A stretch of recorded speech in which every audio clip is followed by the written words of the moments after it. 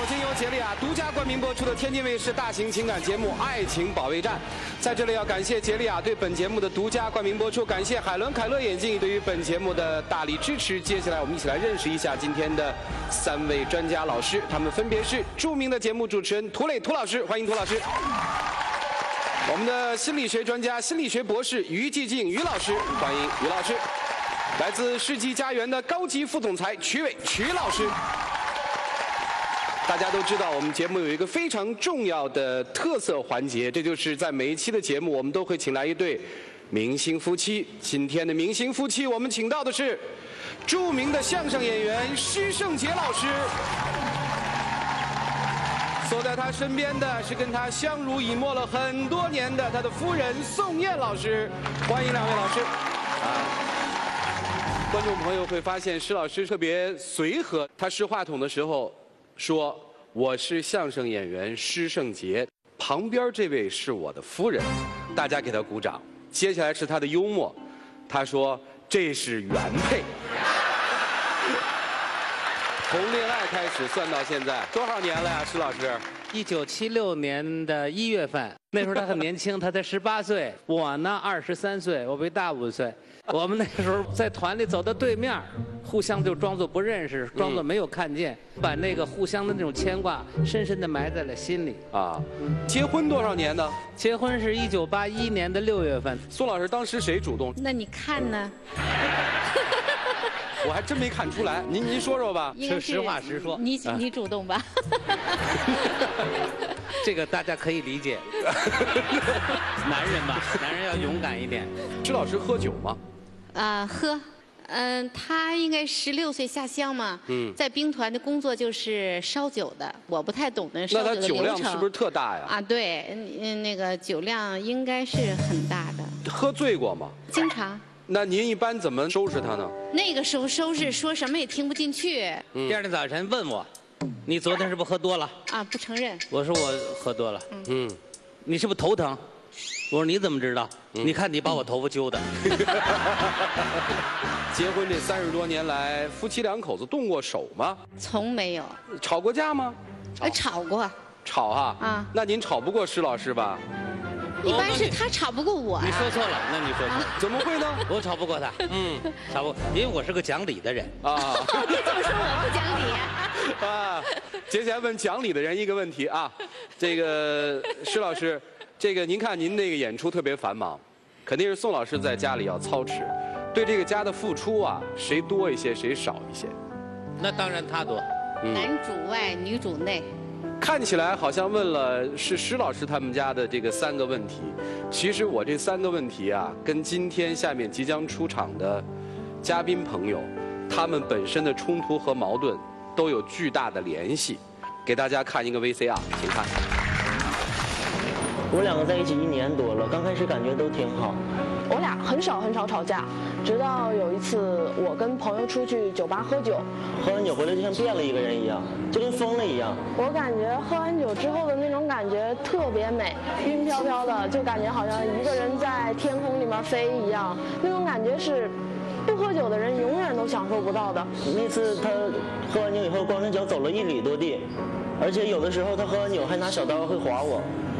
这些我都可以忍受，可是有一次他竟然喝完酒以后他跳楼，他对我怎么伤害都可以，但他不能拿自己的生命开玩笑啊！我不感觉说我喝酒错在哪儿了，我一点都没有错，我真不知道他在想什么。实在忍受不了他现在这个样子，如果他要现在这个样子的话，我真的跟他过不下去了。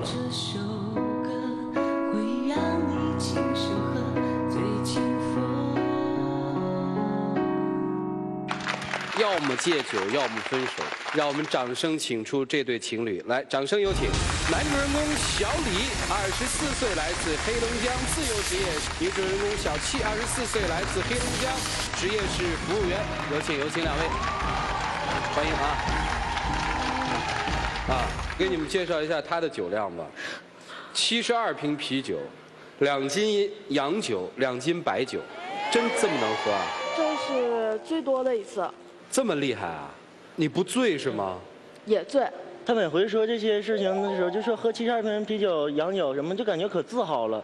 要不然，我请你喝点酒。好。有观众有口渴的想喝的吗？来来，那曲老师也也来吧。别着急，别着急啊，很简单啊，看谁在最短的时间内一口把这酒喝完。对，预备，开始。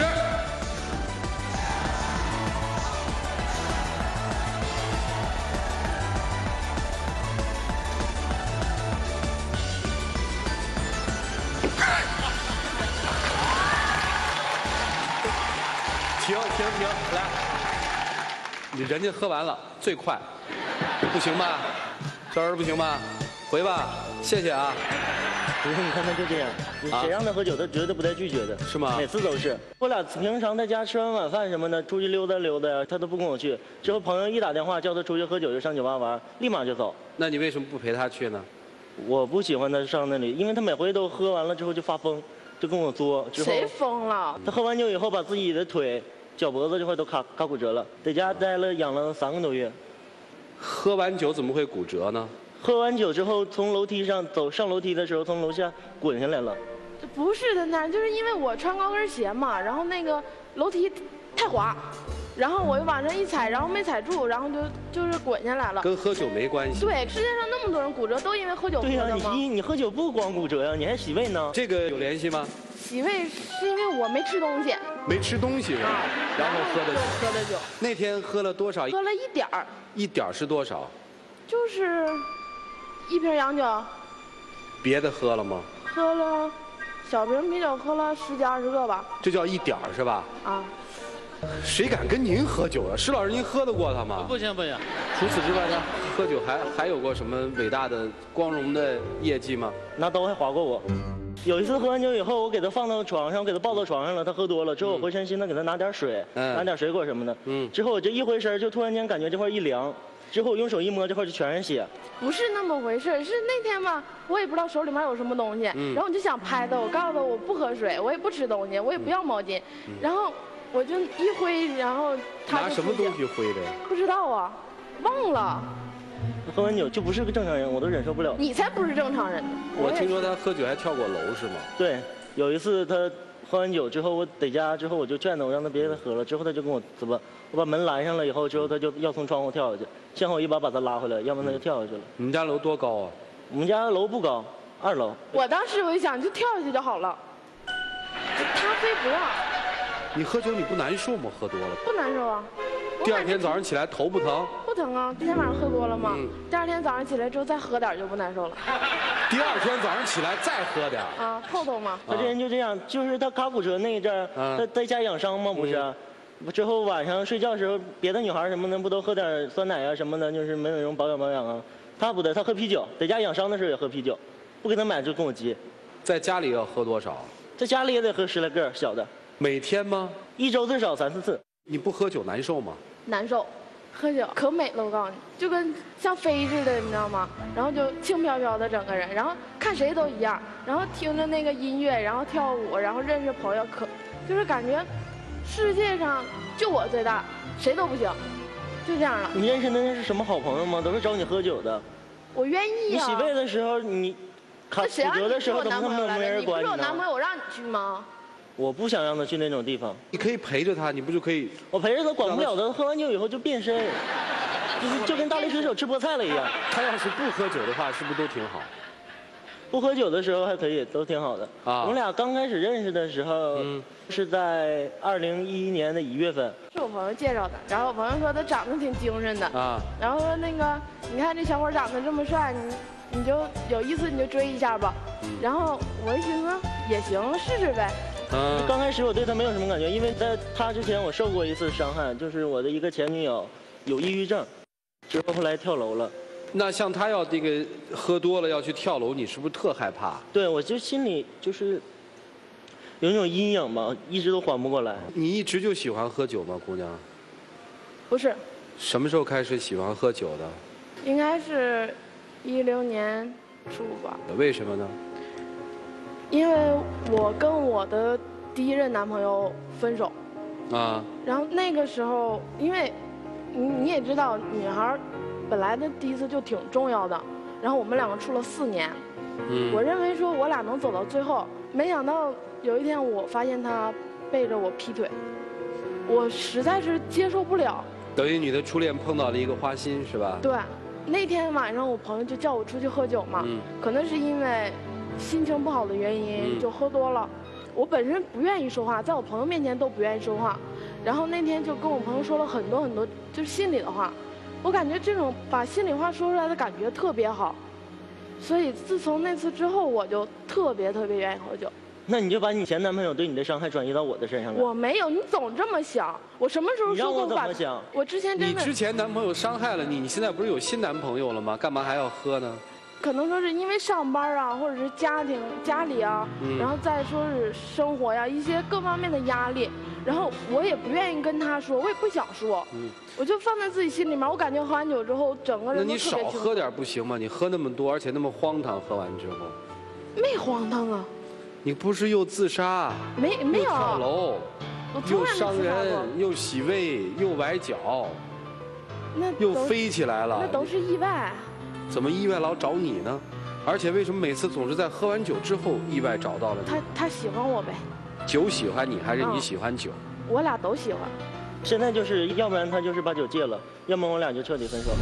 我实在忍不了他。现在不都说吗？酒是江山水，越喝人越美；酒是粮食精，越喝越年轻。就这样的，你才才有意思，你知道吗？你是听施老师的相声里说的吗？我刚才听她讲完了以后，我很难过。那么漂亮个女孩子，这有点自残之嫌。嗯，这个酒呢，我也经常喝多。但是我跟她一比，我就等于小巫。嗯，我小巫今天在天津卫视见了大。您可千万别拿她当榜样啊！那宋老师可就遭罪了。他那个年龄还没我女儿大呢，是吧？要珍惜自己呀！你这么年轻，这么漂亮，干嘛那么作践自己呀？姑娘要珍惜，珍惜对方，然后控制自己。控制了，没控制住啊！啊，控制了，没控制住。您还替他说话啊？今天我们还真是请了一位这个专业的医生来，京好医院消化内科的副主任医师傅密雅，来，我们有请傅大夫，来有请。他这算有瘾吗？他现在这饮酒量已经大大的超过了正常的这个饮酒量了，属于这个酒精依赖症了，应该进入治疗了。大夫，您您别吓唬我行吗？不是吓唬我也没怎么样，我怎么就要治疗了？现在你因为是年轻，初期的时候没有什么症状，将来你会出现一些就是酒精性引起的脂肪肝，再不戒酒的话就会出现酒精性的肝炎，还有酒精性的肝硬化，然后跟肝癌还是有一定的关系的。哦，难怪刚才施老师也说他作践自己呢。这戒酒好戒吗？像他这种情况，必须得呃辅助这个心理治疗，还有药物。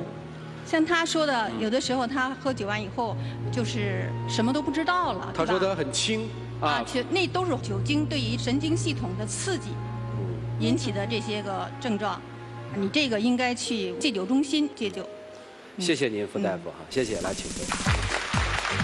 医生都已经说了，喝酒对你自己身体伤害多大，好像我不让你喝酒就是我害你似的。我成天不让你喝酒，拦着你喝酒，就是我害你。我从来没说他。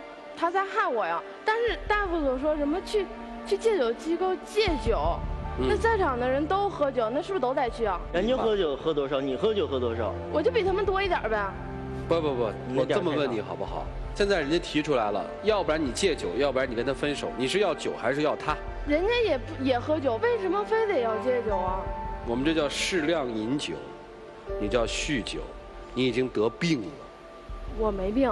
我们专家里面专门有从事这个医学方面研究的，在下一个环节，我要请我们的专家跟你特别重点的聊聊这件事儿。来，一起进入丘比特问卷。呃，从于老师开始吧。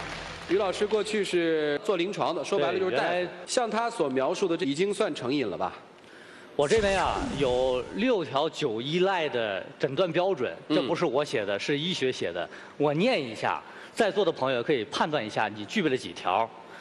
第一条是强烈的饮酒渴求，第二条是酒瘾发作时间固定，第三条是饮酒意向高于一切活动，第四条是清晨空腹饮酒，第五条是饮酒量不足时出现生理和心理症状，第六条是戒酒后重新饮酒，只要具备三条，就被诊断为酒依赖。你觉得？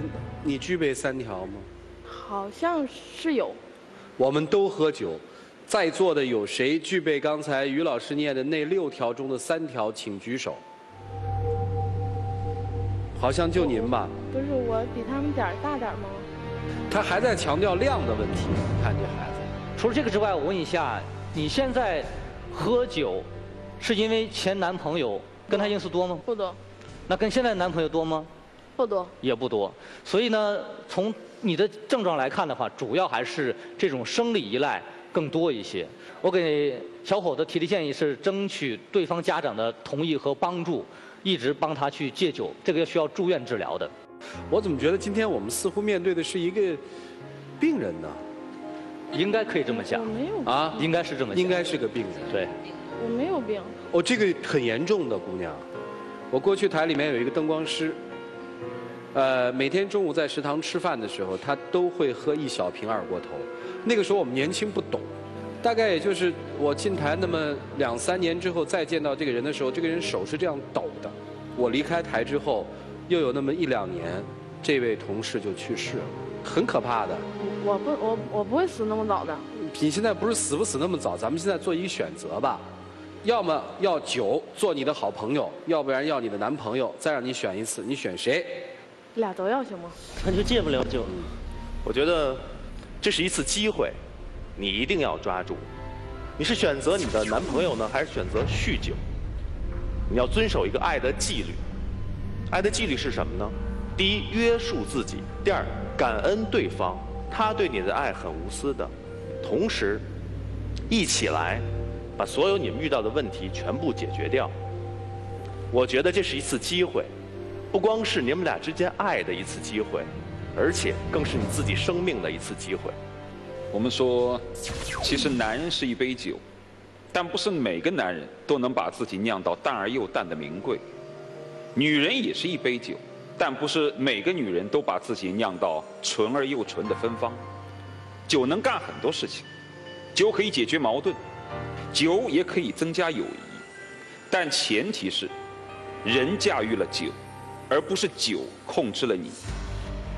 酒不是那么难戒的，人的这一辈子除了情戒不了之外，但凡是上瘾的东西，其实都可以戒掉。与其在醉生梦死当中苟活，不如在现实生活中面对。所以说，姑娘，你要么喝死拉倒，要么给我好好活着。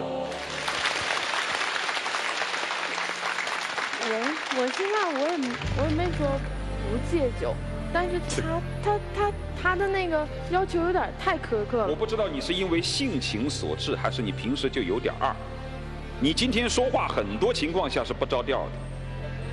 这跟酒精有关系。没发现。他每天都是大了的状态。要戒，必须得戒，不戒，你的男朋友会离开你，你的家人会离开你，你自己也会离开你自己。所以今天其实，如果说是所谓的情感上的问题的话，还不如说是我们今天真的在面对一个病人。你这么年轻就没有毅力吗？孩子，珍惜自己，不要伤你父母的心。嗯。谢谢老师。呃，马上你们要表白哈，跟你说几句话，好吧？但凡是这种酒精上瘾的人，内心总有一个伤疤和伤痕。这种人的特征是较脆弱，所以越是在这个时候，如果你真的爱他的话，他愿意去戒酒，你应该守在他身边。还有一个，你真要想清楚，没有任何一个人在这儿危言耸听。今天你看我们谈情的部分谈的特别少，酒精依赖是一件非常可怕的事情，请自己斟酌和考虑。一起进入黄金六十秒。其实我挺喜欢你的，就是你也自己也知道，咱俩刚开始在一起是多么的不容易。那时候我已经不相信爱情了，是你打开了我的心扉，走进了我的心里。我现在真的不想失去你，但是你一定得把这个酒戒了，否则咱俩真的就是不可能再在一起了。我真的受不了你现在这个样子。我知道你爱我，其实我也是爱你的，但是你让我一下子把酒戒了，可能对我来说特别的困难。我可我可以慢慢戒，我从来没说过我不戒酒。但是你需要给我一些时间。真的，这我现在真的受不了你现在了。你现在不戒酒，真的我都不敢想象你还会干出什么事来。你跳楼。我真的会戒，你就再相信我一次不行吗？我已经相信你多少次了，我真的受不了。我今天我今天可以当着所有人的面说，我真的会戒酒，但是你要给我一些时间，我真的会戒。你现在要不然就戒酒，当着这些观众的面发誓，你把酒戒了以后再也不喝了，要不然咱俩就分手。别这么逼我行吗？好，时间到。在这个情况下，实际应该需要寻求专业机构的帮助了，而不是靠自己靠毅力了。这靠毅力已经没有用了，自己去想清楚。两位现在可以回去了，在里面好好考虑一下，然后再出来，去吧。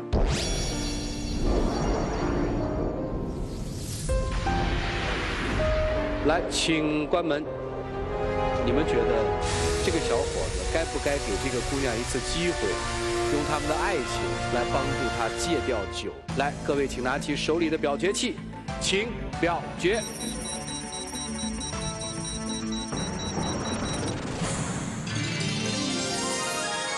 有百分之七十七点六一的现场观众朋友反对他们两个在一起。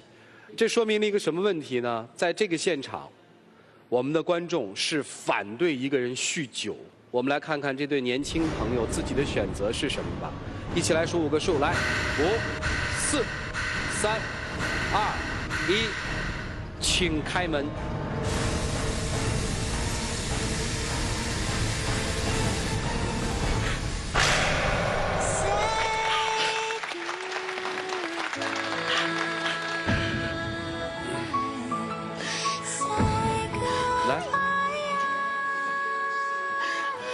难受吧？难受。喝点呗。不喝了。喝。我以后再也不喝了，我只想让他回来。真不喝了？真不喝了。愿意找专业人士帮助你戒酒吗？愿意。回来吧。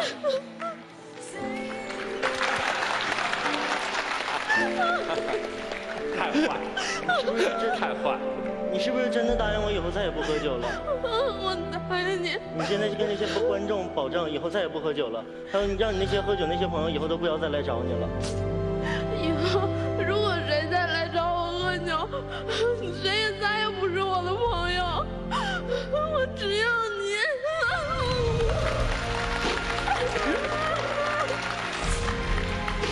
来吧来吧来吧来来来来来，拿两瓶酒来。你们这么喜庆的日子，喝点吧。喝点。你喝吗？你喝吗？不喝喝。真能戒啊？真的。有请我们的话筒来。谢谢两位，麻烦麻烦帮我们把这个坏东西带走，好不好？谢谢你们，慢一点。来，感谢杰利亚为本节目嘉宾提供的订婚套件。同时要感谢天津东尼佩吉钻石为本节目嘉宾提供的订婚钻戒。接下来让我们一起来见证这个神圣而浪漫的时刻。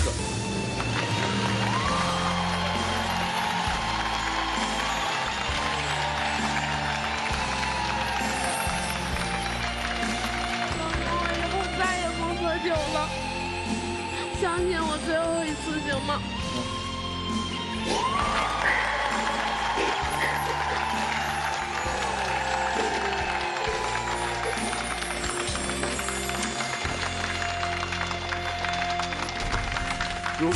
天你们俩真的步入婚礼的殿堂，需要摆喜宴的时候，会拿酒招待我们这些来宾吗？会。啊，新娘能陪我们喝两杯不喝。他那时候已经把酒戒了。不喝。戒了就可以喝嘛？咱们说不要成瘾嘛，适度适量就好嘛。但是在初期阶段的时候，一定要坚决哈。老师们还有什么话送给他们吗？这只是一个新的开始。我希望两个人遵守诺言，真正战胜自己的心魔，让自己承受今天所说的一切。祝你们幸福，谢谢老师。祝你们幸福，请回。接下来看到的是一对年仅二十二岁的恋人，他们之间的冲突，我都不好形容了。给大家看一个 VCR，你看，我叫陈金，二十二岁。我叫慧慧，二十二岁。我认为什么事情不一定非得用竞技的方法来解决，可是他要非得招我的话，我也适当得用点武力。我承认有时候吵架是我先打他，但是他反过来打我，而且下手可重了，根本不把我当女人看。我说话有点挺不中听的，把他说生气了，他就动手，非得打我几下。有时候打疼了，我心里就不痛快，我就想打他。我们已经打过很多架了，也吵过很多架了，但是我真的无法忍受这样的生活。不过我没想过跟他分开，就是再苦再累再怎么打闹的话。我觉得我认定他了，他这一辈子就应该跟着我。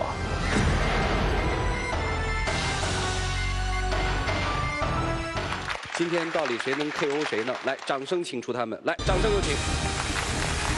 男主人公纯金，二十二岁，他的学历是本科；女主人公慧慧也是二十二岁，她来自四川，她的学历也是本科。来，有请，有请两位。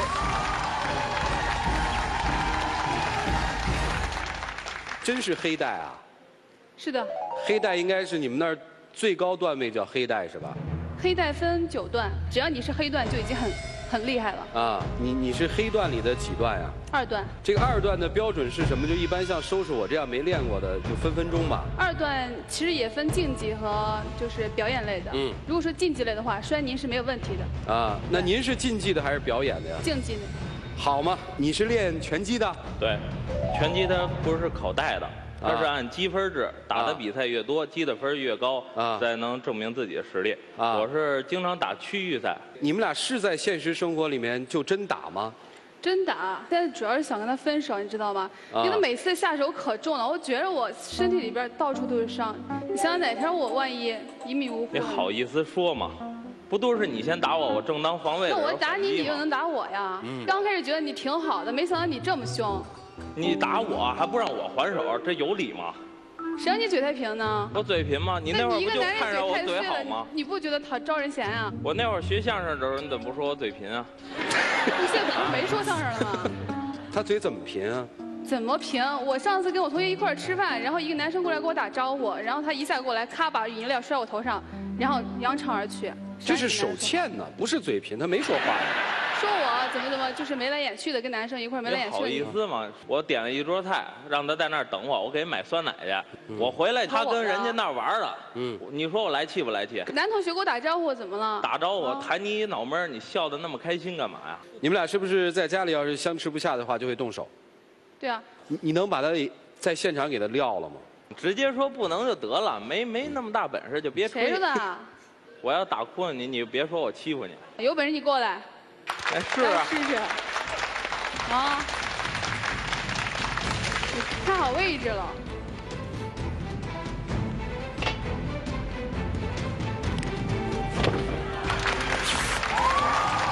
服不服你？真能撂啊！我告诉你，我让着你，你给我放开。服不服？你放开我就服。放。你说的。啊，我说。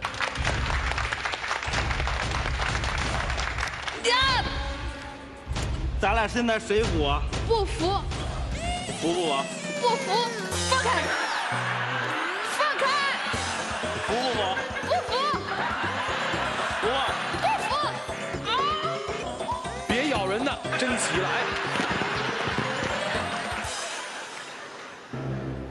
你忒狠了吧你？那你干嘛咬我呀？我咬你怎么了？咬我疼，我就得扔你。我父母也在下面，你这么看着，那你让我父母怎么想的啊？那你当这么多人的面子没有给我面子。那你怎么不给我面子？你摁我的时候呢？咱们还是分手。你看他讲理吗？说好不急的吧？然后你我你弄完我以后我都没搭理你，还使劲歪爹弄我。不是就说简单的比划一下，不不动真的吗？太过分了，这人没法忍他。不是谁过分啊？咱咱回去啊！不是你是男人，我跟你说，是男人就得让你打是吗？那主持人也是男人，我打他一嘴巴他干吗？我就问你，主持人，如果你女朋友打你，你会还手吗？不还手啊！看见了没？我不信，好好向人家学学，我跟你说。哎呦，这汗全下来了，给我吓的哟！没见过这阵势啊！我很少见就是情侣之间打架打成这样的，你怎么能下得了手呢？他打我打的太重了，我心里受不了。刚才我看就是比划了一下嘛，不就说那么多观众呢，我跟跪那儿似的，让他摁那儿，好像我在底下似的。那你说服了不就得了吗？那服了我面子哪儿去了？死要面子活受罪，我跟你说，要是这样的话，咱们就分手。行，别吵了。呃，刚才你倒在地上说你父母也来了，对吧？是的。啊，我问一问啊，来，我们先把这个慧慧的父亲请上来，来，有请。说。我打我的女儿啊！您也看见他非得给我摁呢，我也不想还手。你说弄完以后，你是男同志吗？你怎么会打女同志？我怎么放心让我的女儿跟你？您知道他们两个人在交往的过程当中老动手吗？知是知道，因为我们太远了。哦，太远了，管管不了是吗？对。哦，那您说我们在一起的时候，您也知道，他非得招我。你可以让一步嘛，你可以退让一下嘛。您不能这么偏心，以后我俩要结婚，我是您女婿，还半个儿子呢。您您老护着他，那我怎么？那我都没有了，你还半个儿子呢啊？我我没办法放心我的女儿。他要不招我，我跟他好着。您问问他平时我对他多好，我哪回让他苦过？什么事儿都是我扛着。就说平时，但是你说暴力的时候呢？一旦不注意下手过重了怎么办啊？那你说我是不是跟动物园老虎似的？我躺那儿好好睡觉，你没事打棍儿杵我。你问你那把我弄生气，我抓你一下，就我的错是吗？呃，这个还在呢啊，你稍微注意一点那个，你家今天来人了吗？啊，我父母都来了。父母都来了。啊，我们把金子的父亲请上来好不好？来，有请。姐姐你好。见面啊没想到在这种场合见面，不好意思啊。没想到在这种场合。您对儿子动手这事儿怎么看呀？他不应该动手。啊。哎，刚才我台在台下面也看见了。您跟他母亲动过手吗？没有。那看来因为我妈好，她不招你。那我不好是吧？你非得那么急，你脾气那么大干嘛呀？你赶紧先给人道个歉，人父亲还在这儿呢，想不想那个了？我知道错，但是你别老招我。你你老招我的话，我自己控制不住情绪。你这样老打我女儿的话，那没办法的，我我不放心我女儿的。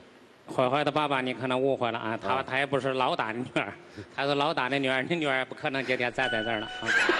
压起当兵。要不然，你两位先到台底下去沟通沟通，交流交流。我我我们来帮助他们这个提高一下认识，行吗？哎，好嘞，可以吗？行，好来，请休息，请休息啊。两位父亲，请下去休息啊！下面去交流交流，看这事儿怎么弄啊！你是会跟他一吵架就动手吗？逼急了就会，如果不是情急之下的话，我也不会动手的。你你你别回嘴，你真的不像个男人。我也没逼他，真的不像男人，你别说话。三分钟不许说话啊！呃，你是每次跟他吵架都动手吗？不是每次吵架，嗯，只是吵急了，但是我哪回都说不过，哪回就都动。三分钟。他是不是这个挺任性的？脾气大，小心眼儿。那你呢？自己总结一下。我有时候也火气大。啊，那你学柔道每回都小心。不过我是女人。回度。三分钟啊。那你学跆拳道不是为了治他吗？主要是为了自卫。啊，那你觉得学完之后对他有用吗？很有用啊。但是你什么用啊？哪回不是？三分钟到了，没了，我我看着表呢。啊。你每次打架都吃亏是吧？是的。那你干嘛还跟他动我？他不动我难受呀。啊，你也难受啊。行，我问问他啊，三分钟之内你也别说话，行吗？在家里人家把你摔倒了，总不丢人吧？但我累一天了，我回家就想坐那儿踏踏实实待会儿，吃点饭睡觉。他这儿非得跟我聊，聊聊聊，我聊不高兴，他就动手打我。你说我能不难受吗？男女朋友之间沟通一下有什么不可以的？你烦什么呢？你下班那么累，你啥都不让干，让我坐那儿跟你聊，你跟我说一大堆废话，老是唧唧歪歪说那没用的，说给人家看一双鞋什么的，啊，说今天那谁跟那谁又好了，谁跟谁吵架了，你说关我们什么事儿啊？然后我就不想搭理他还不行，我一搭理他说多了他烦。三分钟啊！你告诉我，你每次都还手吗？不是的，最开始我也没这样啊。然后他老打我，那开始打我我就忍着。你说他手劲儿也不轻，嗯，打一下也疼着呢。我刚才可看了啊，人家只是问服不服，而且你特别不男人，你在地上说服了，起来之后趁人不备就给人撂起来了。啊，那不公平啊！我说服他也得说服，这多公平啊！那如果他现在离开你，公平吗？不公平。啊，我提分手你还跳楼，你想你想找死啊你？他跟你提过分手？提过。你跳过楼？那会儿就是太伤心了，初恋嘛，然后他直接跟我说分手，说我一大堆毛病，气得我想不开，心里难受，我不想过。天。我真的需要这些老师们好好教育教育你了。我们一起进入丘比特问卷。石老师，这是学过相声的，我也说不过他，您教育教育他吧。您怎么看这事儿啊？我看出来了，这是一对欢喜冤家。嗯嗯，两个人好像还没有长大，都是独生子女，可能也宠得很厉害。那么两个独生子女走在一起的时候呢，他们势必要有点争锋。是吧？而且二位练的一个是跆拳道，一个是拳击，这也印证了中国那句老话，就是打是亲，骂是爱，爱到极极致的用脚踹。这丫头爱极了，就拿脚踹的。但是要掌握分寸，随着年龄的增长，随着社会阅历的不断的增长，我相信他们会很好的。我觉得这对欢喜冤家还是很般配。幸亏他们只是学的武术，如果他们研究的是核反应堆，那不是得发生核核战争吗？我们要做的是爱情保卫战，而不是争霸战。这武术的宗旨是什么？和为贵，谦让，绝对不是争强好勇。你们俩情商太低，夫妻之间不要争谁强谁弱，而是要相濡以沫。我感觉我情商不低，是他。我 IQ 比你高。男人练武是做什么？强身健体是一方面。还要干什么？是保护对方不受伤害。说我我也真心想保护过他。我跟您说个事儿，那次我不知道他理解不理解。情人节的时候，人家送点花儿、项链啊什么的。我那次我就是想实用点，我就送把折叠刀嘛。我没有说你好，提出来呢？没事还能切水果，你你还能保护自己，心里也踏实。你自己揭晓了。你的情商低到如此地步，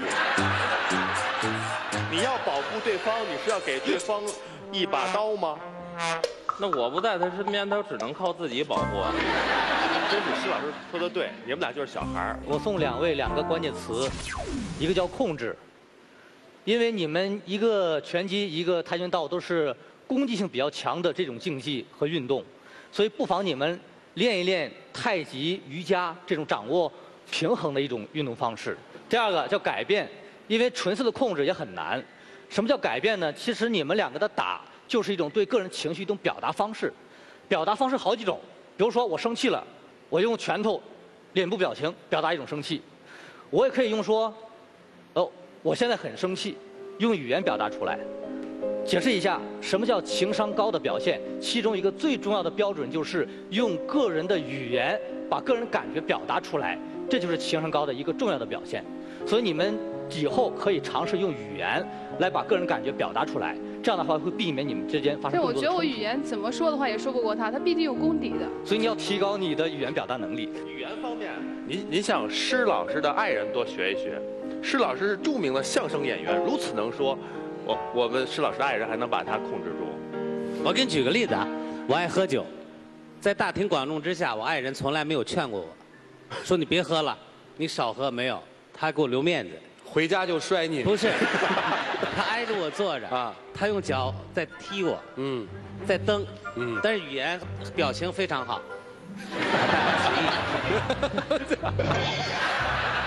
这个他他还能喝一点。上面是语言，下边是肢体，嗯，所以后来我给起了个日本名字，足下灯。所以我建议你们多用语言，少用肢体接触，这样容易沟通。哎，另外那个学相声啊，小伙子，学相声要把它用到正地方。相声不等于犯贫，别把您学的那些东西啊用到媳妇儿身上，可以活跃一下评价一事儿，我以前说过一贯口，为了逗乐的，因为这事儿他以为我侮辱他，还打我。您听着啊，我就当时我就跟闹玩嘛，我就说。莫非阁下就是当年华山论剑、武功独步天下、一只梨花压海棠的少林寺智障大师所收养的小沙弥养的低能爱犬旺财，他说过小强。哎，他不乐，他都急了。你刚才说的是小强吗？小强、小蟑螂多好玩啊！为什么你为什么呀？我这边逗你。还蟑螂呢。你为什么不问施老师那个问题呢？虽然是这么踹也疼吧？为什么施老师就不还手呢？问题他一边踢一边哄啊。我说话别打断啊！我脾气不好的啊。习武之容易，以武修心是上品，以武健体是中品，以武伤人是下品。所以说你们两个习武之人，怎么会这么没有涵养？别人是打是亲来骂是爱，你们是拳拳到肉真实在。男生一直强调我是个男人，请问你哪点像男人？嘴太平，手太欠，心眼太小。你说你有哪点像男人？你还一直在说我要有面子，被自己心爱的女人摁在台上就那么没面子吗？把自己的女人打哭了，你就那么有面子吗？作为一个真正的男人的面子，从来都不是从女人身上给找回来的。生活确实是一场战斗，但这场战斗存在于夫妻与生活之间，而不是存在于你我之间。如果你我之间非要分出个高下，一定是两败俱伤。控制与被控制就像硬币的两面，你在伤害他的同时，你也在受伤害。只能够用武力去解心头之恨的人，往往是文学修养不够的。应该多看看书。我感觉我多看书了。你看，人不犯我，我不犯人；人若犯我，我必犯人。你这话应该是两军交战的吧？这不是夫妻之间该说的吧？再说了，就咬你一口又怎么样？我疼啊！你疼，你如果不反手，他还会再咬下去吗？哪里有压迫，哪里就有反抗。你看你这，你就死在你这张该死的嘴上面。我觉得你不应该咬他胳膊，你应该咬他嘴。他对你好的时候，你就轻轻的，我不解释；他对你不好的时候，你就狠狠的不放。接下来是这个哎，现场就咬一个呗，来吧。哎哎哎哎哎，停！等等，然后慧慧咬你，自己找打啊！你不是说他打你屁股？站那儿去，我就看看他明不明白。你回来闭上眼睛，让他来咬你。真咬！我注意分寸啊！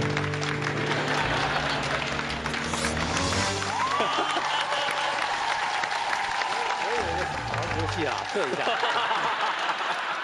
来插播一下，这样你们两个人面对面站着，一只手掌心相对，来，请纯金用力推一下，用力推，好，停。这样，请纯金跟你女朋友握个手。发现了什么？当你用力推对方的时候，我并没有给你的女朋友下指令，但是你的女朋友不知不觉怎么样，会反抗给你。但是你用握手的时候，你会发现，他也会怎么样，跟你去握手。所以老子曾经说过一句话，他说：“当我满口的牙齿脱落的时候，柔软的舌头还在。”两位请回。嗯，好了啊，嗯，自己思考一下，然后你们进入表白时间，一起进入黄金六十秒。慧慧，其实我刚才想了想老师们说的话。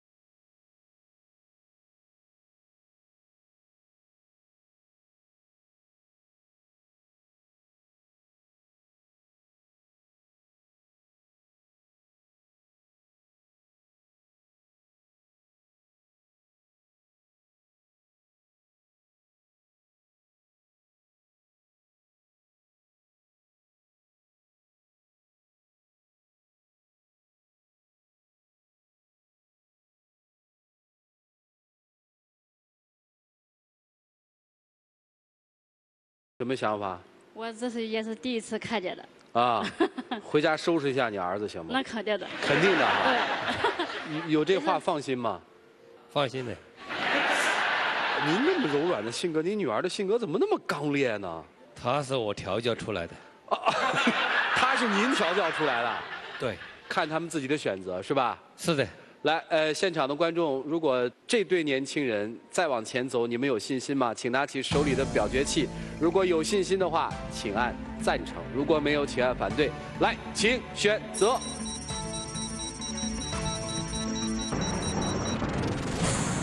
现场有百分之七十一点四三的观众朋友选择了赞成他们在一起。我们一起来数五个数哈，看看年轻人自己的选择。五、四、三、二、一，请开门。杰丽亚提醒您，精彩栏目稍后继续。在感性与理性之间，爱要有你才完美。杰丽亚内裤，生活就要杰丽亚。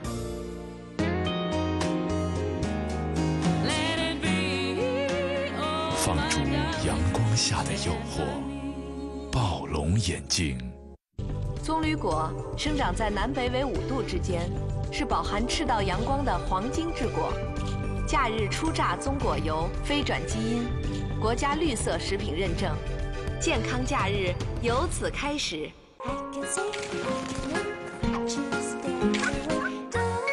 你为什么总和我作对啊？喜欢你啊！清甜蔓越莓遇见醇香咖啡，全新巧曼菲甜蜜上市。喜欢你没道理，伊利巧乐兹。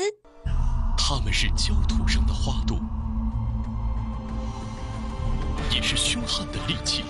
杀手是件武器，武器是没有感情。几个小小的杀手，竟敢挑战帝国军队？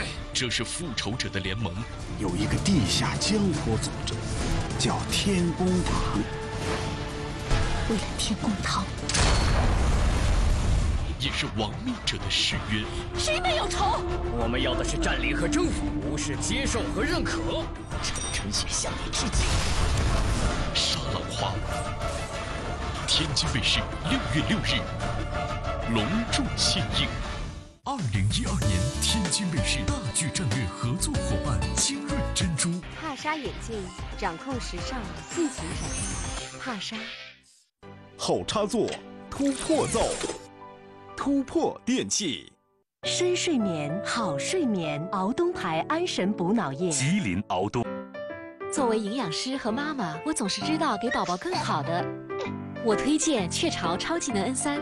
适度水解蛋白，降低牛奶蛋白致敏性，给宝宝更多一层保护。雀巢超级能 N。后插座突破奏，突破电器。亚马达电器争做全球家电专卖领航者，丰富的商品种类，物有所值的价格，还有会员积分活动，全商品均可使用一积分换一元的超值回馈。亚马达电器天机店优惠营业中，网上商城敬请关注。大哥，你敢再虚点吗？饿得跟林黛玉似的。我你再说一遍，来台士力架吧。怎么样？嗯，来劲了。横扫饥饿，做回自己，士力架真来劲。恩威牌洁尔阴洗液，杀菌、止痒、治白带，难言之隐，一洗了之。恩威洁尔阴，还有二合一洗液哦。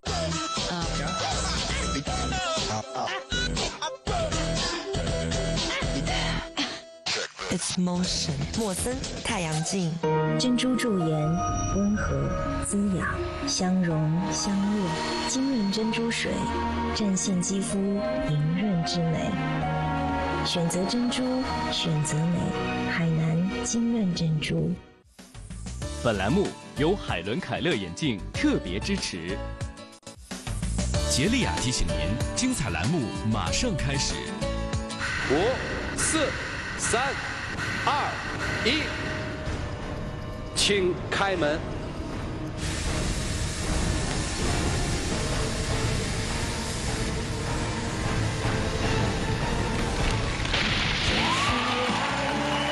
还要面子的，还不快跑！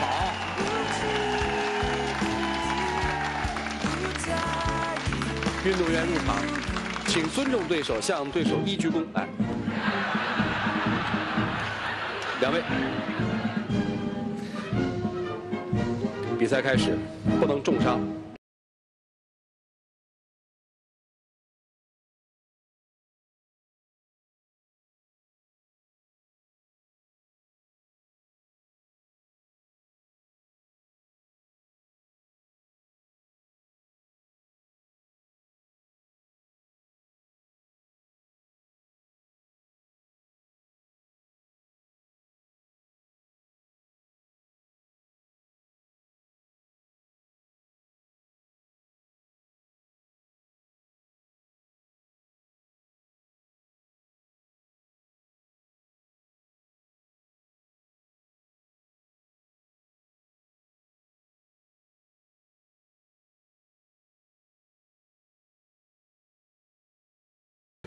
去中间吧。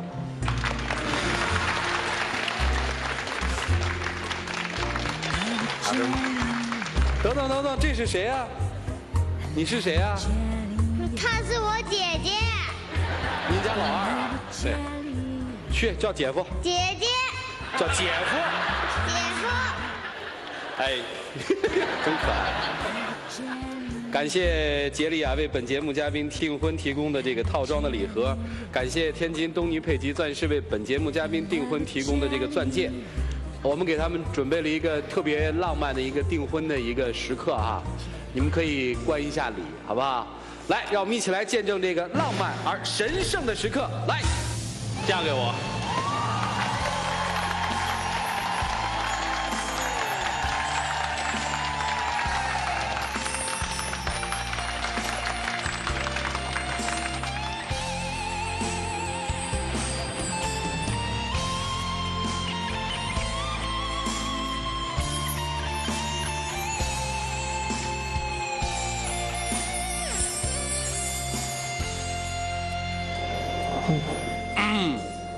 亮灯吧，祝幸福啊！过来吧，牵着自己家孩子的手走吧，多高兴的事儿啊！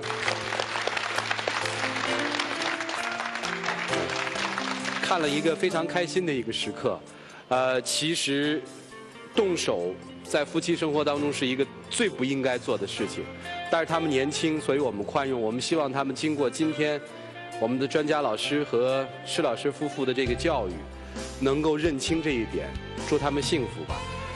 下面将要和我们见面的人，今天来这个节目只有一个目的，希望离了婚、离家的先生能重新回来。我们先来看一段我们的编导记录的一段镜头，来，请看。阿姨，今天咱能等等着叔叔吗？哎呀，我也特着急，不知道呢。你说我们这个事儿现在弄得特别误会。这是叔叔家是吗？不是，是他妹妹他们家。我这是等他，等着他妹妹，让他妹妹帮忙看看从中能不能给我们再说一下，就是尽量能缓和就缓和一下。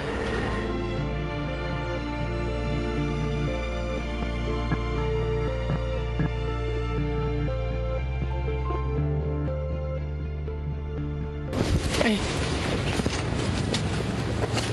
哎呦，春儿你回来了。干嘛呀？哎呦，你干嘛呀？看看我们俩这样，你那什么，别理我，从中正别理我，帮帮忙行吗？帮什么忙？二哥，你都不误解我。你把我二哥害成这样，你让他消停消停啊！哎呀，得了，得没什么可说的。那个，您看您能不能别别别给那个大姐一个机会，跟您给什么机会呀？我跟你说，他们狼狈为奸，把我二哥害的害成现在这样了，让他好好的消停消停吧。我跟你说，我不是说全都是误会我，误会什么呀？误会什么呀？说真的，这么一年，我二哥对你们一家子，真是成了奴隶了，你知道吗？你别跟我说这个，我跟你说，他把我们这一家都给毁了。我们对他什么样，他自己心里知道。大姐说是有误会的，我有什么误会呀？他这几个妹妹跟狼似的，把我二哥给害的。现在我二哥是上班也不得安宁，是真是现在已经消瘦的很多了。我们就让他们是让他好好的各过各的吧，这辈子可能是该他的就得了，就是两来无事，啊，谢谢你们。接下来我们来用掌声请出正处在情感纠葛当中的人吧。来，掌声有请万姐，五十七岁，来自北京，是退休。另外一位呢是她前夫的妹妹，也就是小姑子。你来干嘛呀？有什么好说的呀？你把我二哥现在害成这样，这么大岁数了，有几个十年呀？别分分合合的，嗯，肯定我坚决反对。我跟你不希望，我不希望我跟你二哥这么多年，年，我对你挺好的，你干嘛这样啊？我二哥对你们家，从你妹妹上学，你妹妹的孩子在你们家上学，你把他们招来了。你上班走了，一天一天，我二哥伺候吃饭、洗衣服，他是男人，你干嘛去了？我跟你二哥他对你这么，我跟你二哥提前他对你这样，你对他有什么回报？我先打断一下好不好？万姐是想跟前夫复婚，对不对？我可以告诉您的一个信息是说，您的前夫我们帮您请来了，但是他说他想看看你在整个这个现场对你们过去发生的那些事情的态度，再决定他是不是需要上场来跟你沟通。这个刚才您说过了。他把二哥给害惨了，是吧？我二哥呢，上有哥哥，下有妹妹，什么都不用他干，在我们家就跟大爷似的。就因为跟他结了婚，那个全心全意的都扑在他们家身上。那应该的呀。啊，是应该的。问题是他的标准不一样，他就特别自私。我跟您说啊，从小我三岁，我二哥八岁，没有了父亲。嗯，我妈妈带着我们，真是孤儿寡母的。真是需要，也是你需要照顾你的父母，为什么你不照顾我们家呢？我跟你讲，你照顾我们家怎么样？提前跟他说好了。啊，等于您嫁给您前夫的时候，您就跟前夫说好了，你要娶我就得照顾我这个家，是吧？是这意思吧？对。这这前二嫂对不对？对。那你哥过去之后哈，等于把那一家的重担全挑起来了，对吗？对。我二哥什么都不会，到他们家以后现学的那个做饭炒菜。他的那个妹妹，那是结婚定亲，然后娶就是生子，全都是一那一码那个包办。他的两个妹妹，他的两个妹妹装修。我二哥从那个什么那个请木工到那个装修，再到钉现场，他两个妹妹都不去。等我们我那个装修和我哥哥装修，请我二哥设计的，我二哥还是背着他去的。他知道了，去了现场把图纸给撕了，把砖给砸了，是你干的不？那我觉得你们家条件好，让你哥哥帮助我有什么不可以的呀？但是可以得有一度，你对你们家好，拿出你们家十分之一的对我们家，我们就认可了。行，宁破十座庙，不破一座婚。我跟你哥哥有感情，你为什么从中老原来我不是这样对你，就因为你一而再再而三的。呃，我问您一句行吗？刚才您这小姑子说的那些事儿，真的都发生了吗？其实是这样啊，我跟我老公呢，八三年我们认识的。嗯。当时我那会儿已经二十七八岁了。家里边我是长女，嗯，我下边有四个妹妹，嗯，家里边一切责任都由来我担当。在过去的时候，又不是现在这样条件你妹妹是妹妹，我就不是妹妹了。嗯，我比我小妹妹大十四岁。我跟她结婚以后，我们家待当三年，不是在他们家待三年。然后呢，我哥哥就是说又上班又得管，过去的事情呢都已经过去了，我也很感激。就是这么多年，是你二哥帮助我，照顾我们这个家。说心里话哈，我是从心里头真是感激。确实有些地方对不住你二哥，但是我们两个从那个感激基础上，我跟他还是有感情的。你们以前分了对吧？嗯。又复合了，然后等于现在又离婚了，对不对？嗯。上次离婚是因为什么呀？反正我就是一直脾气不是特别好，完了就是在外边忙工作忙什么的，就是对他的忽视也比较多。他就是自私，他就是自私，就是自私，全的把他的心思全都扑在他们家上，没有别人。嗯。我呢哈，确实是。就是照顾我们家太多了，嗯，完了呢，我对我婆婆家呢，哈，确实是从来没考虑过，因为他们自本身条件也比我们家好。我呢，哈，什么叫条件好？我就觉得我在在我们家是长女，我是老大，这个，所以我担当我们家里边我是应该的。啊，应该。我对我你应该对我们家，你不应该对我们家吗？我今天请你来是让你来帮助来说你瞧瞧，你们瞧瞧现在你他平时的态度就是这样，你还想复合？你承认没有？我问一下啊，您跟您前夫的。情感关系好吗？从我心里头啊，我就感觉我从来没跟他离过婚。啊，而且呢，那离婚是谁提的呢？就是火儿来，火儿来了。是谁来了火儿提的呢？第一次的时候，好像是我们就是打架了，吵着吵着吵着的，完了我一生气，我把结婚证给撕了。啊！您知道吗？他那脾气，我二哥真是忍住了，就是他们家的奴隶。啊，是不是现在没人照顾你了？你还把我二哥叫来，就是叫过来使唤呀？离婚。这样吧，嗯，要不然您休息。我看您在这儿好像这事儿越搅还越乱乎了啊！这个 不是，我不是说搅和实际上啊我就觉得就是说现在他们这么大岁数，就是各顾各的就得了。他愿意照顾他们家就让他们照顾他们家吧，就不让他再烦我二哥了，啊啊，是吧？行，行谢谢您。知道了啊，谢谢您啊，请回啊。第二次离婚是谁提的呀？第二次也是，我就觉得我真的是对不起他。刚才啊我小姑子说这些事情，也不怪他这么生气，啊，因为他们这一家人嘛，比较宽容我、包容我。哦，只是说我呢，就是比较自私，确实是比较自私。你说我是长女，就觉得这是我的责任。嗯行，你今天来的目的是什么呀？我就是来跟他表述一下我对他的真情。啊那你就对着镜头表述别阐述，别产生误会。啊，行，那你就对着镜头表述吧。您要表述的好，他觉得他愿意上来，他会上来；他要觉得不好，您的话结束了，那也没办法啊。来，自从我们两个相识以后哈，你给我带来了很多的幸福，在没这段时间离开你的日子里边哈，使我更加的想你。我跟你认识的时候，我就跟你提出来了，我们家我是长女，我下面有四个妹妹需要我照顾。我跟你结完婚以后，当我们分到房子以后，我第一想到的是我的小妹妹。还在山区读书，因为她要把户口迁到我们家以后，可以到区重点中学。嗯，她没有反对，就直接迁到我们家来了。三年啊，她对待我的小妹妹就像对待自己的孩子一样的，嗯去照顾、去呵护。完了，下边的我们的二妹妹哈，我也知道你很委屈，那个教育孩子，我就把我二妹妹的孩子呢也迁到了我们家。我万万没有想到，我把孩子带来以后，我去上班，把孩子就扔给了他。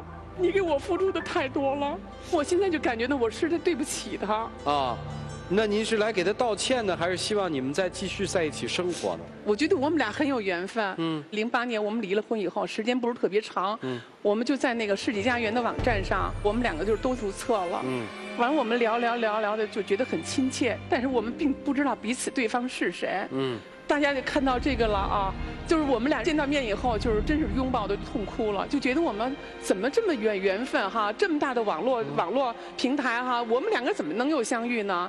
结果在那个世纪佳缘举办第五次这个集体婚礼嘛，我们两个就毅然决然的，就是参加了他们这个。可是您这没几年，不就毅然决然的又离了吗？您回答我，这是为什么呀？其实老公，我离开你，我跟的真的没觉得离开，在我心目当中，你依然是我的老公。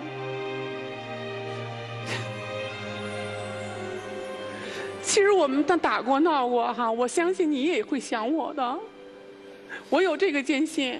你在哪儿？你上来吧。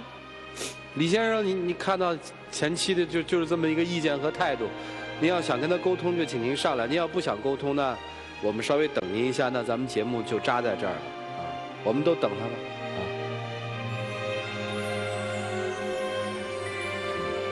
其实我，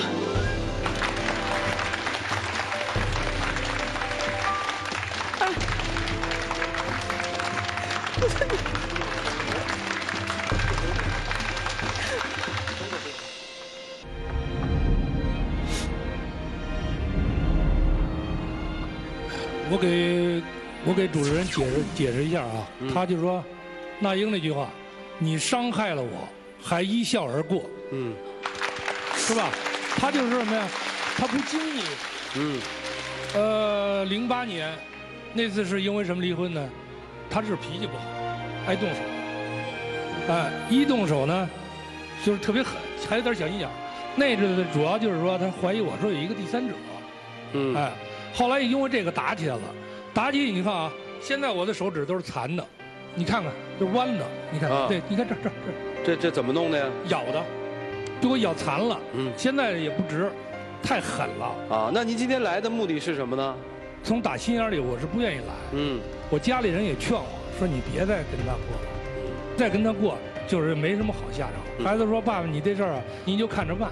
嗯，哎，我今天来呢，我主要就是说劝劝他呢，哎，以后呢就是说没有我的日子里讲啊，你这么这么多年，你没有我日子里我除了脾气不好，我剩下哪点对不起你？咱们家从无到有，各方面哪我没做到啊？那个让主持人说你一个三分钟吧，我说你就别说好不好？你要再说我就下去，这可以吧？行。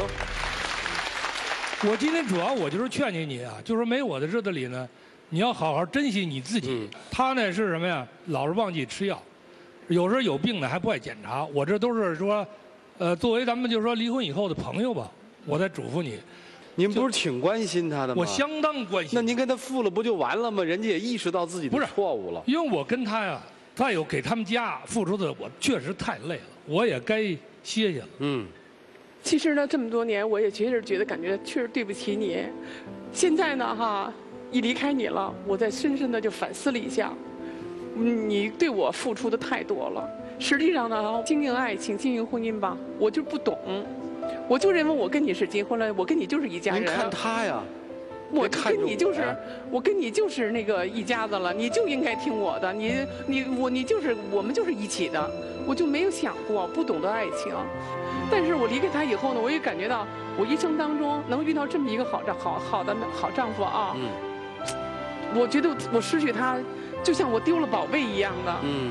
那我就请这些专家老师啊，包括施老师，让他们帮帮你们，看看这个事儿是怎么走，是有没有和的可能性啊！一起进入丘比特问卷。大哥和大姐是通过我们平台再次走到一起的，但是真正能做到跨越世纪的家园，有这么容易吗？相爱容易，相守难。我听起来呢？你们还是有感情基础的。其实性格，大姐是比较急，大哥是比较慢。哎，这正是一个心灵上的一个匹配度，还不错哟。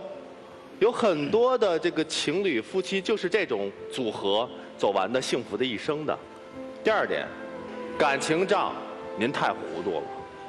老公说了一句太对的话了，他累了。家庭是什么呢？家庭是一个能源补给站，老公累了就得有能源给他补上，您这点没做到，一味的汲取，不光你汲取，你的后背后还有四个人在汲取，他能不累吗？现在的关键是，如何让他能休息过来？他现在真真正正是想自己一人去休息吗？我觉得，大哥是想和你一起。把外界那些因素都排除掉，最后给你一个建议：老公是你最亲的人，把这个捋顺了，把事情想清楚了，我觉得你们的问题主要矛盾就解决了。我觉得大姐有一个错误的价值观，就是我是老大，我要这个照顾我的妹妹。你把注意力很狭窄的看在这几个范围之内的话，对外界就视而不见。对老公以及老公的家庭，你没有任何感受，所以此时呢，你更多的是一种需要，是一种失去的一种痛苦。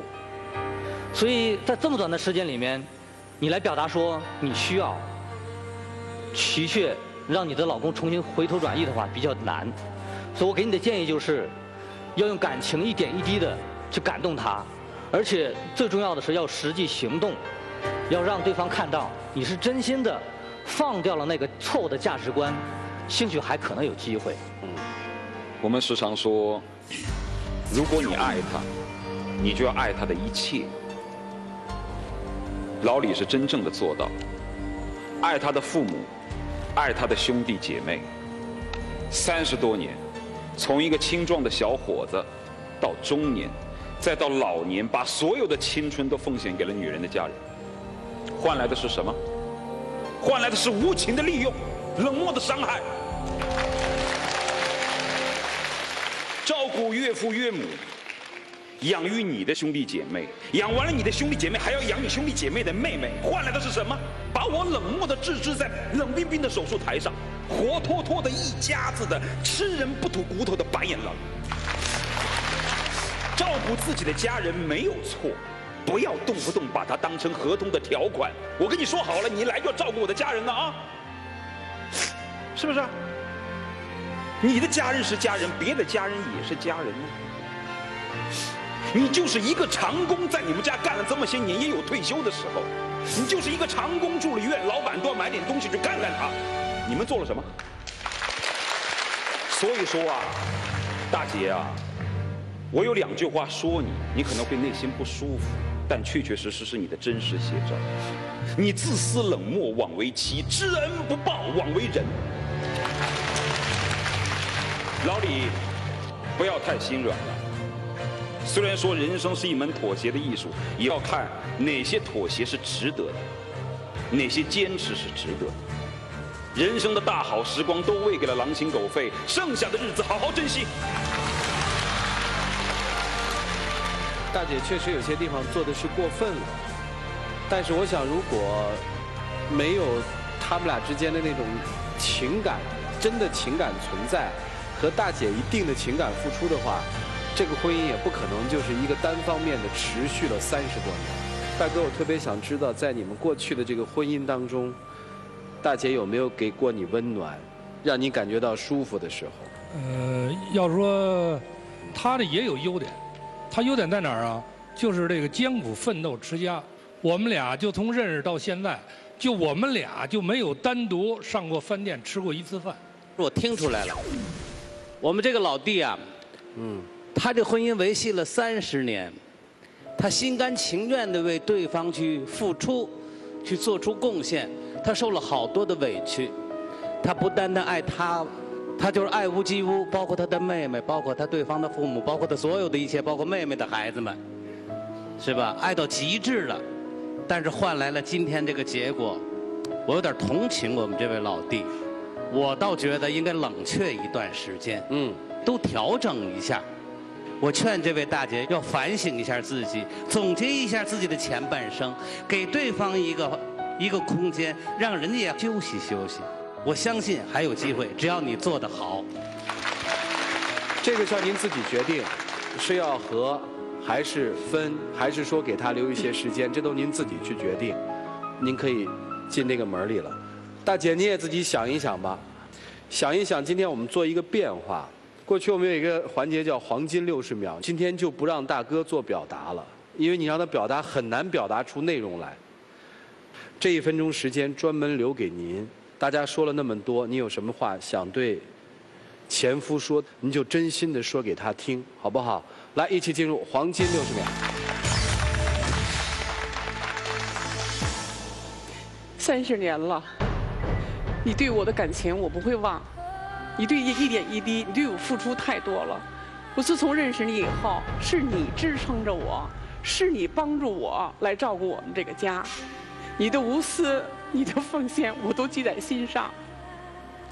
通过这件事情，我自己有一个深深的反思：做一个人一定要有良心，不能过河拆桥。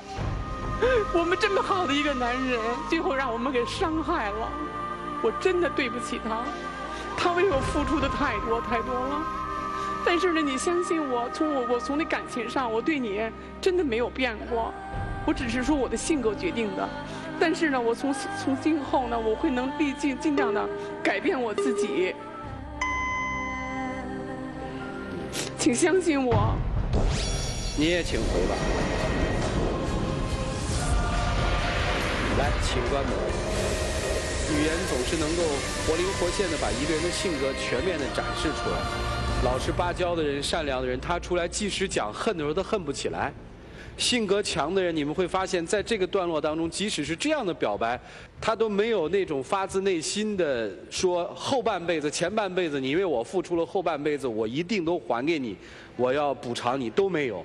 所以他们是应该复婚，还是应该就此各自开始自己的生活呢？来，各位，请选择。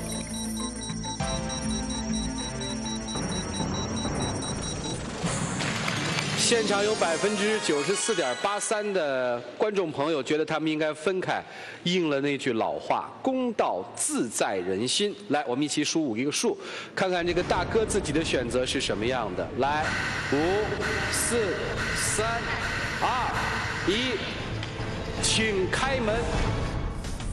杰利亚提醒您，精彩栏目稍后继续。袜子，脚的语言。杰利亚，爱的语言，爱要有你才完美。杰利亚袜子，生活就要杰利亚。吃的东西天然的最好。头痛了？头痛了，吃中药很天然，正天丸纯中药，舒缓头痛，天然健康。中药治头痛就用正天丸。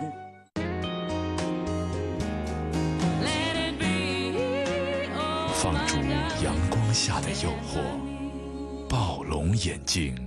这段时间复习考试，孩子特别用脑。多喝六个核桃。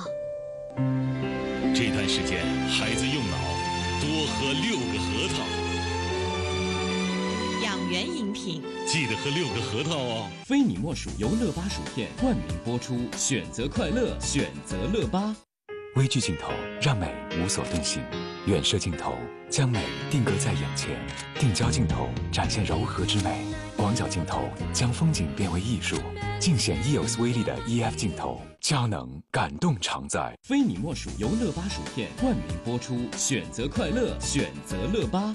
你看世界，世界看你，海伦凯勒眼镜。我们一起走吧。绿箭精装口香糖，特含薄荷粒子，持久清新。啊，走这么久了？等一下，等一下，雨还会下。绿箭精装口香糖，持久留住清新。大哥，你敢再虚点吗？饿得跟林黛玉似的。我你再说一遍，来台士力架吧。怎么样？嗯，来劲了！横扫饥饿，做回自己，士力架真来劲。伊利兵工厂超果炫，看我的！冰爽即可，释放自我。这下爽大了，要爽就来冰工厂。伊利，来一瓶瓶装合其正，两茶我要合起正，瓶装更尽兴。来一瓶合起正，瓶装合其正，瓶装合其正。达利园青梅绿茶，一瓶好茶，达利园。我要冰加，蒙牛冰加，特含浓郁的印度阿方索芒果浆，十足冰爽更畅快。冰加水果，快乐加我。一个。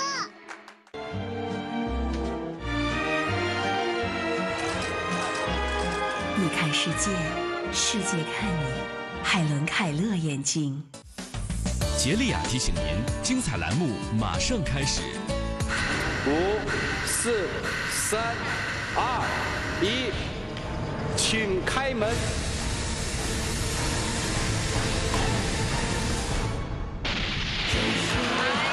对不起大家了啊！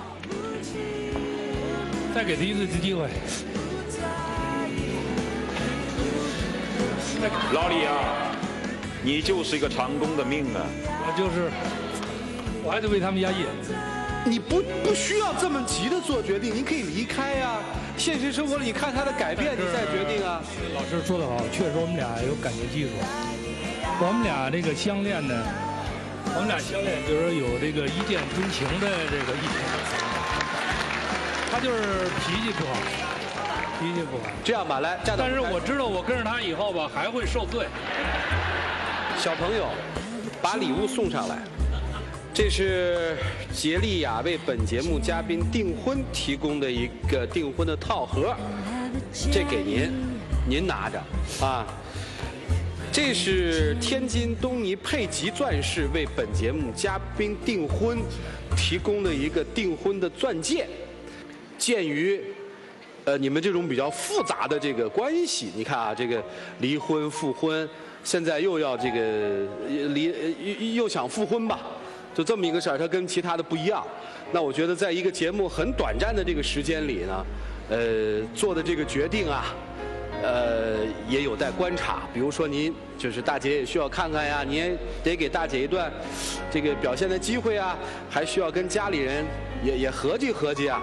所以我想这样，我问问观众哈，我们就祝他们能够磨合的好，呃就可以了。还是说我们要在这儿给他们也举行一个订婚仪式呢？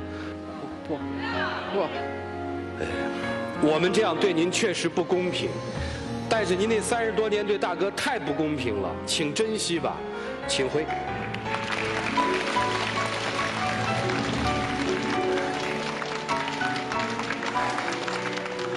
我现在特别想把自己的舌头咬掉。哎，算了吧，既然这么好一个人，大家都这么喜欢他，那只要他幸福，我们就祝他幸福吧。接下来是杰利亚爱情保鲜剂的时间，每一位嘉宾都要对电视机前的观众朋友奉献上一条爱情保鲜的妙计。施老师和宋老师一定要奉献，你们三十多年还关系这么好，你们这个爱情保鲜的秘密是什么呢？我们爱情保鲜其实就四句话，就是多吃菜、少喝酒、听媳妇儿话、跟党走。太精彩了，宋老师，嗯，爱情保鲜的就是包容吧。都听您的话，您当然只能是包容。曲老师，健康的婚姻是两个人一同在种一棵幸福之树，一起努力，一起灌溉，精心呵护，这样才能硕果累累。失去的才知心痛，请珍惜。好的感情不会轻易得到，请用心。钱债一还，情债难偿，将心比心，以心换心，千万不要辜负自己所爱的人。嗯，好。你看世界，世界看你，海。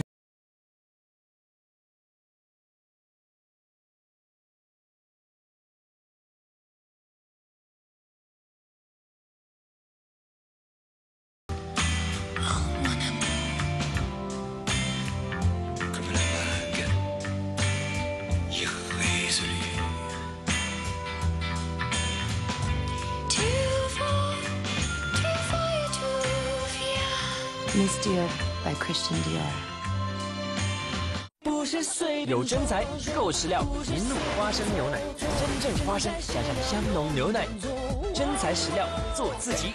银鹭花生牛奶。天津卫视火热战斗季硝烟来袭，黑暗中背叛与猜忌如影随形。我们来个一箭双雕，既能联系上德国人，又能让五号特工组背上通敌叛国的罪名。敌人巨制，五号特工组重新集结。行动中，他们是化身武器的暗杀者。杀手是件武器，武器是没有感情。六月六日，血色红装，沙兰花暗夜绽放。为了胜利，他将至亲与敌人一同埋葬。铁兵不会拿士兵的生命换自己的老婆。六月二十一日，铁血军魂亮剑，再度出鞘。天津卫视火热战斗季，钢鼎之作，气势如虹。二零一二年天津卫视大剧战略合作伙伴精润珍珠。二零一二年天津卫视战略合作伙伴乐巴薯片。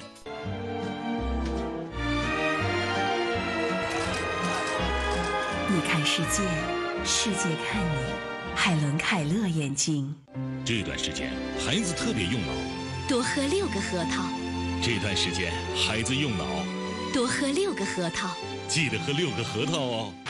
又到了该说再见的时候了，要感谢我们的专家老师，感谢施老师夫妇的到来，感谢现场观众今天这么热情的来表达你们的态度。其实，在今天这个现场的最后一对的这个过程当中，我们大家的这个心情可能现在才稍微有了一些平复。没有关系，我们学会感激生活吧，生活会教会我们很多。我相信大哥这样的选择有他自己的道理，还是祝他们幸福。要感谢杰利亚独家冠名播出本节目，感谢凯伦凯勒对于本节目的。